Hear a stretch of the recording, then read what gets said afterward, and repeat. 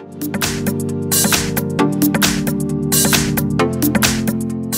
I've got Motorola Moto E6 Plus and let me show you how to activate power saving mode on the following device. So at first you have to slide down the upper bar and here you can locate battery saver icon, so this is the quickest method of activation. Low power solution, simply tap on this switcher and confirm that you would like to activate battery saver. And that's it. From now on your device is in power saving mode and it will last way longer. Then if you'd like to switch off low power solution, click on the same switcher one more time and now it's off. Then you can also activate power saving mode through the settings, so at first you have to open the list of all applications, then find and select battery, and here you will notice battery saver.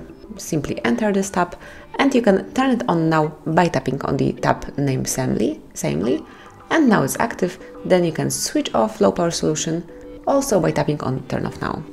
Then you can activate some scheduled battery saving mode by tapping on turn on automatically and then pick the level of the battery so it can be 15% for example you can obviously change it as only you want to so let me pick 10% of the battery so from now on every time the battery is slower than 10% power, power saving mode will be automatically activated and that would be all, that's how you can activate and schedule power saving mode in your Motorola.